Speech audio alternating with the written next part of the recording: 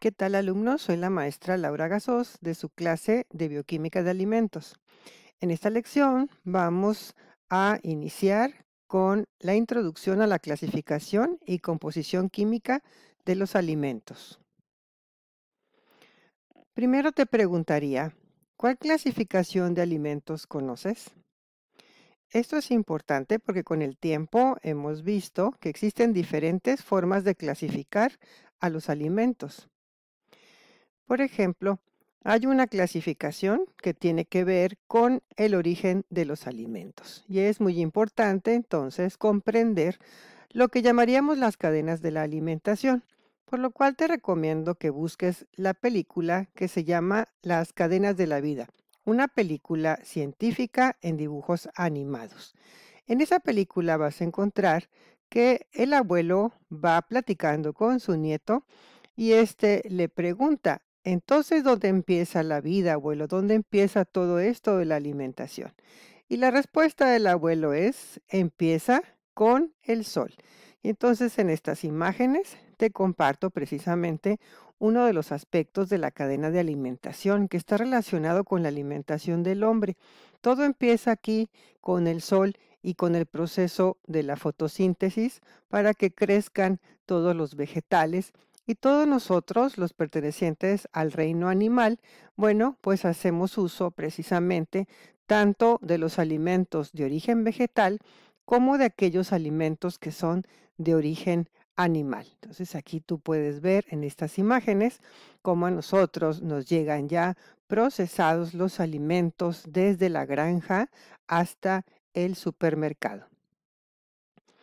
Y bueno, pues es muy importante entonces dentro de esa clasificación entender que esa ah, clasificación atiende también el ciclo de la energía celular, porque también nos tendríamos que preguntar por qué nos alimentamos. Y una de las posibles respuestas desde el punto de vista de la bioquímica es que los alimentos nos proveen los nutrientes que nos van a dar la energía. Y esa energía, bueno, precisamente inicia con la luz del sol, con la fotosíntesis. Entonces son precisamente las células eucariotas vegetales las que pueden procesar el, dióxido de carbono que fijan a través de su clorofila en sus cloroplastos y también entonces lo van convirtiendo a unos primeros componentes de carbono más complejos que son los azúcares que pueden ser la glucosa, que puede ser el almidón. Entonces esta luz del sol, esta energía solar, viene a través em, de los alimentos, viene convertida en estos componentes que entonces van a formar parte de la dieta y en este caso la célula eucariota animal pues va a procesar estos compuestos más complejos de carbono y a través de sus organelos, como es por ejemplo el caso de la mitocondria y de los procesos metabólicos que se llevan a cabo como la glucólisis, el ciclo de Krebs adentro ya de la mitocondria, el transporte de electrones y la fosforilación oxidativa, pues son eh, precisamente las transformaciones metabólicas que van a generar esta molécula de adenosintrifosfato, el ATP, que es la que luego se dirige a diferentes rutas metabólicas para proveer la energía y que las células se mantengan siempre con eh, actividad biológica y permaneciendo con sus ciclos vitales. Entonces es muy importante entender esta clasificación porque sencillamente nuestra alimentación se lleva a cabo o nuestra nutrición se lleva a cabo a este nivel, al nivel celular. Y entonces de ahí que eh, esta primera clasificación esté relacionada con esos procesos de la naturaleza, con lo que es el, ciclo de la alimentación, el ciclo de la alimentación a nivel celular. Entonces, un primer grupo de alimentos que se clasifica es por el origen.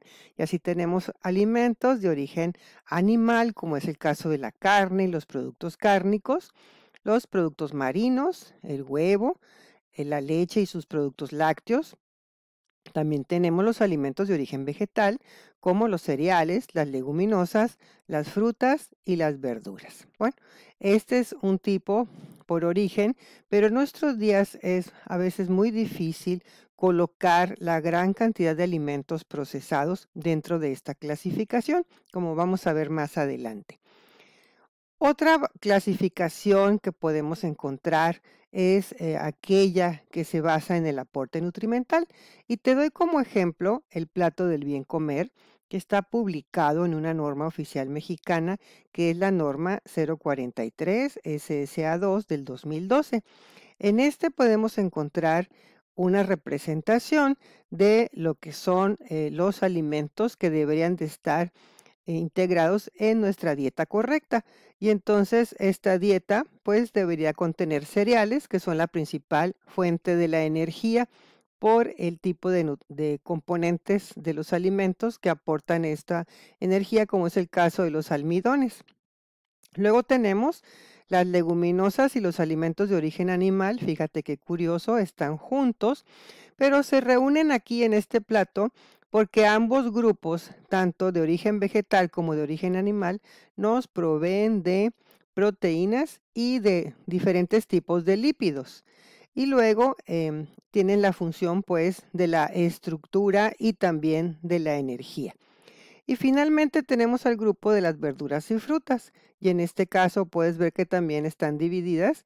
En este caso salen aquí en esta sección las verduras y en esta parte las frutas, que también en algunas ocasiones a estas les dicen las hortalizas. ¿bien?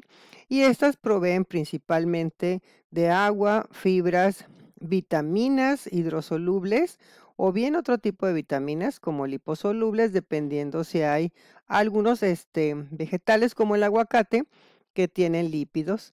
Y bueno, eh, otros componentes que hay aquí muy interesantes son los llamados compuestos no nutrientes que los vamos a ver más adelante. Bien.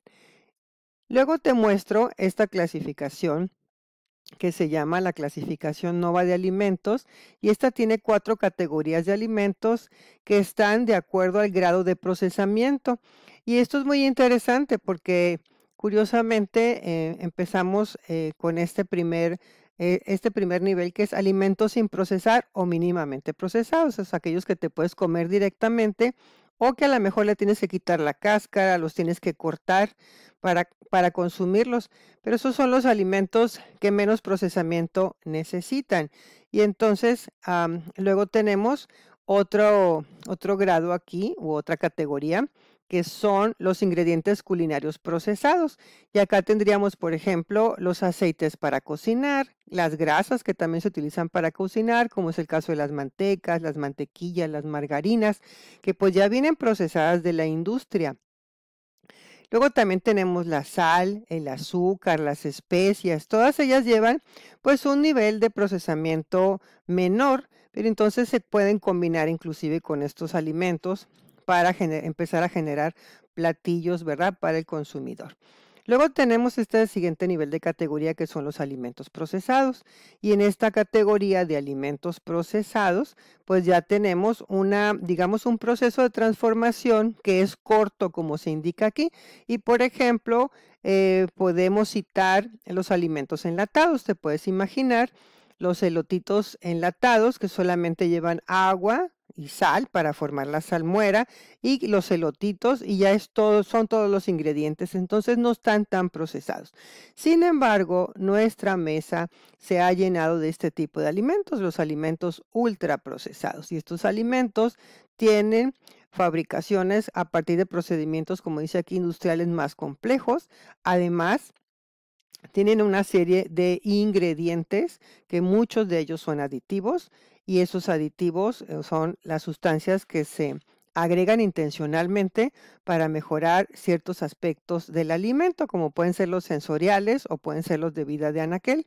Y entonces estos alimentos pues son los menos recomendados, en este caso para la salud. Y bueno, con esto pues eh, tenemos aquí tres ejemplos de clasificaciones de alimentos porque seguramente debe haber muchos más en la literatura, pero considero que en estos tiempos, curiosamente, estamos eh, llegando otra vez a cerrar el ciclo, queremos ir hacia atrás, otra vez hacia los alimentos mínimamente procesados o si acaso aquellos en los que tú agregas algunos ingredientes para cocinar, teniendo cuidado también con tus métodos de cocinado. Muy bien. Vamos pues entonces a ver en un siguiente video la segunda parte de esta clase. Si tú tienes dudas, puedes contactarme a laura.gasos.itson.edu.mx. Hasta luego.